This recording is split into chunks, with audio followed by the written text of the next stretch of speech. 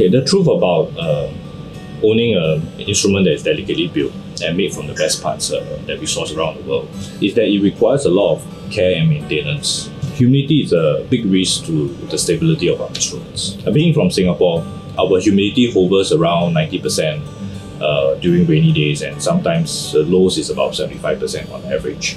Unlike Western countries, you know, where the, the climate may be generally a little bit drier, for us, we have to fight with the problem of high humidities. We send our instruments uh, everywhere around the world, and that's a risk that we want to minimize as much as we can.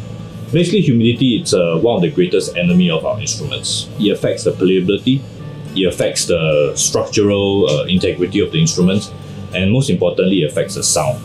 You know, uh, a wet instrument basically will sound very damped because of the extra moisture that the top has actually absorbed and the playability and the setup will be affected as well. The neck will shift, uh, whether is it wet or dry, uh, and the body bulk will also shift up and down as well when in accordance to the amount of moisture that it has actually taken in. So that affects the playability. Uh, that's something we want to avoid at uh, Maestro guitars. So what we have come across uh, is Boveda. So Boveda is a two-way uh, solution that we actually found that most of the solutions either only do it one way, meaning to add water in, or it's uh, it takes just the moisture away.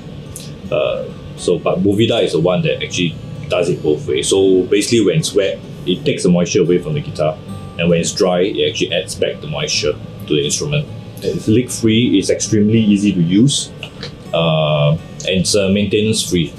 And most importantly, it works we get the assurance that no matter where we send the instrument to around the world, our instruments are always in optimal condition.